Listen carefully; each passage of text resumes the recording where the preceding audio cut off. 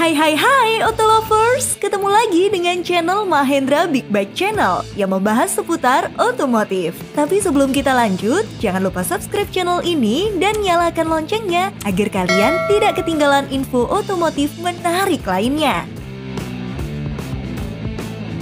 Siap tentang segmen skutik crossover nih brosis. Skutik baru berdesain crossover agresif resmi meluncur nih.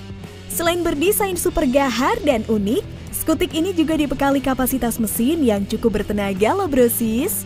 Tapi sebelum kita bahas mesinnya, kita bahas tampilan luar dari skutik ini dulu ya.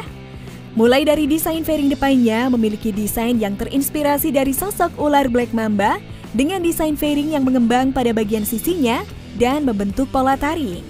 Gak hanya itu aja brosis, menariknya pada bagian headlightnya menggunakan desain single headlight yang mirip dengan Yamaha XY dan DRL List pada bagian sisinya, serta light di bagian atas.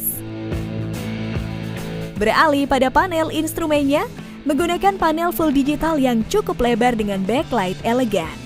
Lalu di bagian dashboard depannya terdapat kompartemen barang, lubang tangki pada bagian kiri dan slot USB charging. Meskipun hadir di segmen crossover, pada skutik ini memiliki dek bawah yang rata, jadi skutik ini lebih fungsional.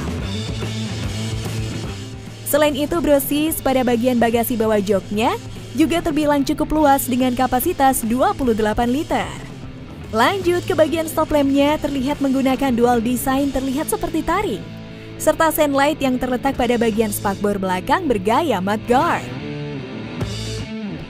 Lalu untuk urusan suspensi dan kaki-kaki pada bagian depan, menggunakan suspensi teleskopik dengan velg 13 inci dan ban 120 per 70 serta pengereman depan cakram ABS dual channel dari Bosch. Dan di belakang menggunakan suspensi single proling dengan velg 13 inci dan ban 130 per 70 serta pengereman belakang cakram juga. Berdesain ala skutik crossover pada skutik ini, dibekali mesin berkapasitas 158cc satu silinder 4 katup.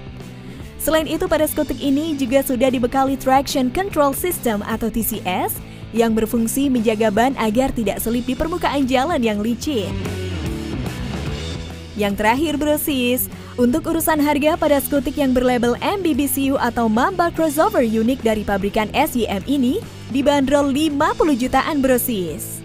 Nah, jadi gimana brosis? Kalian tertarik nggak nih meminang skutik bergaya crossover ini? Tulis dong pendapat kalian di kolom komentar. Sekian info otomotif kali ini dan jangan lupa subscribe channel ini agar kalian tidak ketinggalan info otomotif menarik dan terupdate lainnya. Mwah.